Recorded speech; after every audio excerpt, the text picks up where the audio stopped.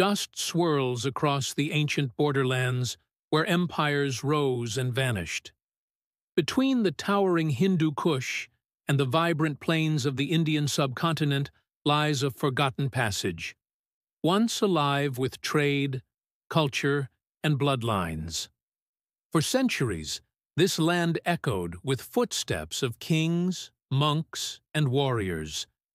But it also buried secrets, deep in its soil, and deeper still in its people's DNA. Now, thanks to a breakthrough in ancient genetics, the silence is finally breaking.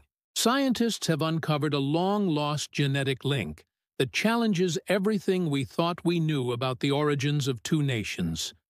Not through war, not through myth, but through the raw, unchangeable truth hidden in the code of life itself. What they found was unexpected and controversial. How could two modern nations, divided by politics and borders, be biologically intertwined in ways history has long erased? Could ancient migrations, forgotten empires, and invisible genes rewrite the story of South Asia? The story stretches back over 4,000 years, to a time when mighty civilizations thrived along the Indus and the Helmand rivers, from the Harappan engineers of northwest India to the Bactrian kingdoms of ancient Afghanistan, these cultures flourished not in isolation, but in contact, trade, and, perhaps, kinship. Massive cities with drainage systems and stone palaces stood only a few hundred miles apart. Yet today, their descendants live under vastly different flags, languages, and beliefs. History books rarely connect them, but the terrain tells another story, one of caravan routes, sacred journeys, and endless waves of migration. Empires like the Maurya, Kushan, and Mughal blurred borders centuries before maps were even drawn. Yet somehow the shared roots were forgotten. Until now. The scale of the mystery is staggering. Could the people of Kabul and Kolkata share ancestral threads older than their nations? Could a shared past, encoded in bone and blood, rewrite the region's fragmented identity? It began with a tooth. Buried beneath the ruins of an ancient settlement in northern Afghanistan, a single molar, preserved by dry soil and time, was uncovered by a team of archaeologists in 2018. They were excavating the remnants of what was once a bustling trade hub along the Silk Road. The site had yielded coins, pottery, and weapons before. But this, this was different. The tooth belonged to a woman estimated to have lived nearly 3,800 years ago. She was no queen, no warrior, just an ordinary person, long forgotten. Yet hidden in the pulp of that tooth was a time capsule of genetic data, DNA strands untouched by modern contamination, and what they found inside didn't match the known profiles of the region. In fact, the mitochondrial markers pointed far east, toward the Indian subcontinent. Could it be a mistake? Or had they stumbled upon a living thread, one that tied ancient Afghanistan to ancient India in a way never officially recorded? The discovery triggered an international collaboration. Geneticists from India, Germany, and the United States converged, determined to extract every possible detail from the fragile DNA. Using next-generation sequencing, they reconstructed the woman's full mitochondrial genome, piece by ancient piece. But she wasn't alone. More samples began to surface across Afghanistan and northwest India teeth, bones, and burial remains dating from 2000 BCE to the early centuries CE. Each specimen told a similar story, shared haplogroups, unexpected maternal lineages, and patterns that defied colonial-era theories of isolated evolution. The biggest challenge? Degradation. Centuries of heat and looting had left many remains brittle and fragmented. But advanced bioinformatics tools filled the gaps, and soon a startling pattern emerged. consistent genetic overlap between ancient Afghan and Indian populations. Not random, not occasional, systemic. Yet, the deeper they looked, the more the question grew. Was this evidence of ancient migration? Or something even older?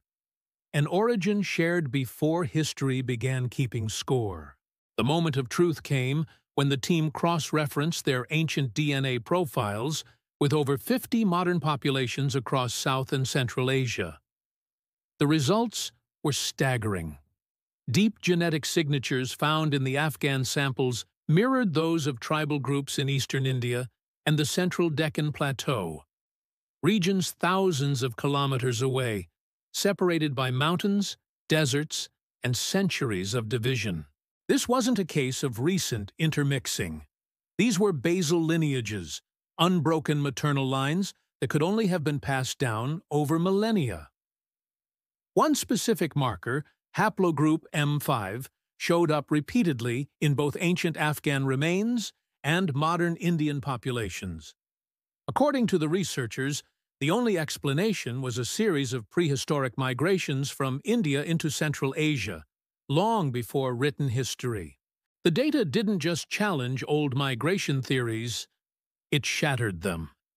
The genetic clock pointed to a shared ancestry that predated the Indo-Aryan expansion, reaching back to the very roots of settled civilization in the region.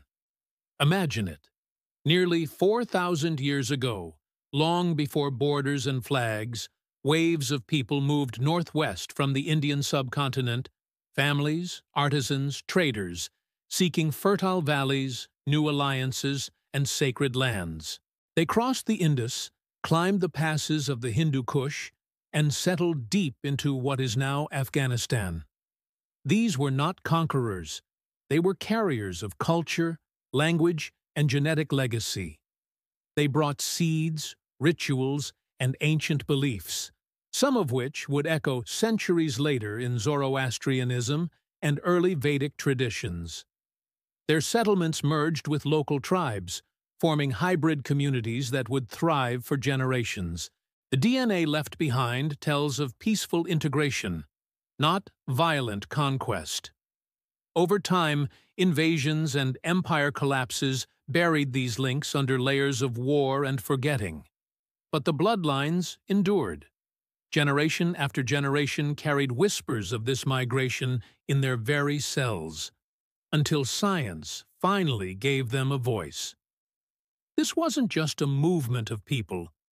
It was the weaving of a genetic bridge, now rediscovered.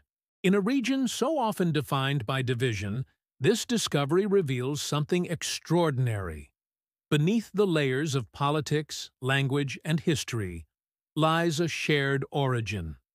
One written not in books, but in blood.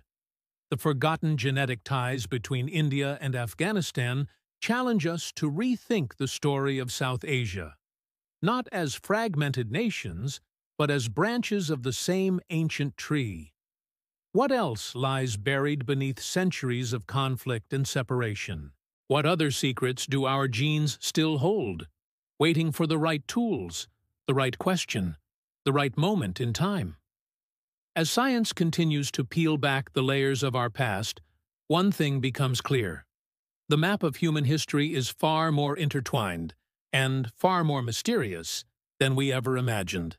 If you're fascinated by the hidden codes of our ancestry and the ancient threads connecting civilizations, don't forget to like this video, subscribe, and explore more stories that bring the past to life. One discovery at a time.